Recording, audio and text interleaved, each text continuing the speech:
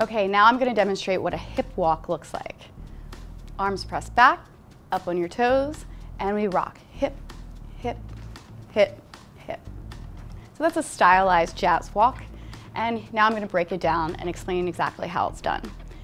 Your arms are gonna be pressed back behind you, sort of cupping the hips.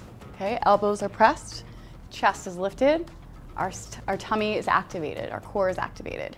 You're gonna releve all the way up on your toes. And how I was taught this was that you need to think about walking in a pencil skirt on a tightrope. Yes, pencil skirt and a tightrope. So you're going up on the toes and the hip rocks out to the right and then up on the toes, hip left. So I'm all the way up, you can see, on the forced arch, releve, as high as you can go. It's like you're walking in your grandmother's high heels. So again, you lift up nice and tall, releve, hip walk to the right, left, right, left. This takes a lot of balance and control and style, and it looks a lot easier than it is, but with practice you'll be fine. So this is a hip walk going slowly, and then I'll do it a little bit faster. Slow.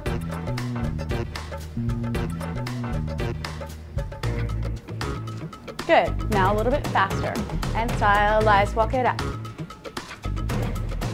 Hip, hip, walk five, six, seven, eight.